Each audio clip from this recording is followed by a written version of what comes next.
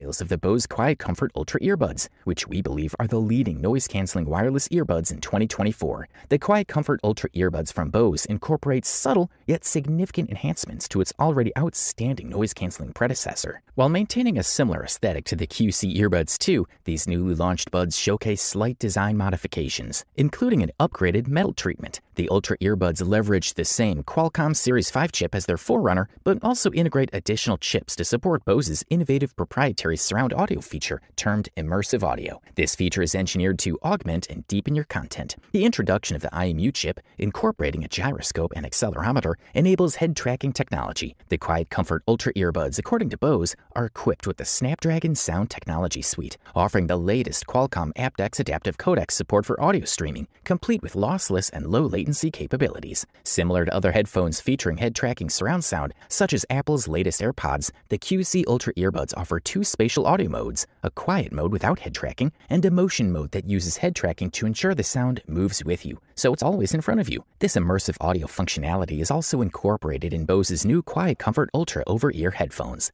The Quiet Comfort Ultra earbuds offer first rate noise cancellation. The custom tuned technology analyzes each ear and adjusts the sound accordingly, offering an unparalleled listening experience. You can choose between three modes silent mode for focused noise cancellation, awareness mode to listen to your surroundings, and immersion mode for full noise cancellation and immersive sound. These Bluetooth noise canceling headphones provide up to six hours of listening time, or up to four hours with immersive audio, and a brief 20 minute charge offers an additional two hours of playtime. Good stuff.